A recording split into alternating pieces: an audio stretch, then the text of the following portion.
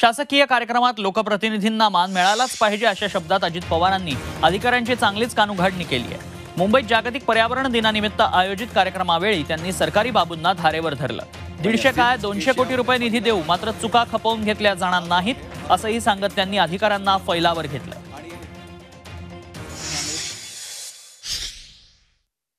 लोकांनी दिलेल्या व्यक्तीचं निवडून आलेल्या व्यक्तीचं त्याचाही खूप मोठा वाटा होता.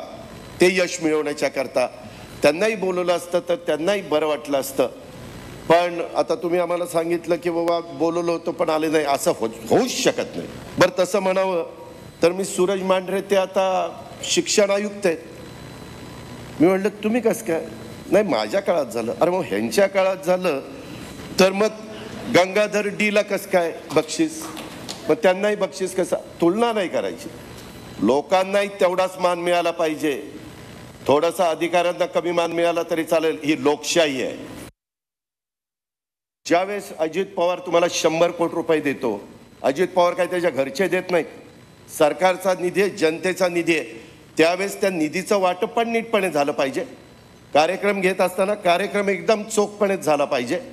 त्याच्यामध्ये कुठं कमतरता झाली नाही पाहिजे. आपल्या सगळ्यांनी बघितलं पाहिजे.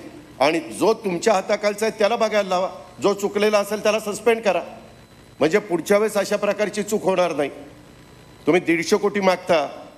चुका करणार आणि मला दीडशे कोटी मागणार. मी काही पैसे द्यायला मोकळा बसलोय. असं नाही चालणार. लाल मातीतली कुस्ती. म्हणजे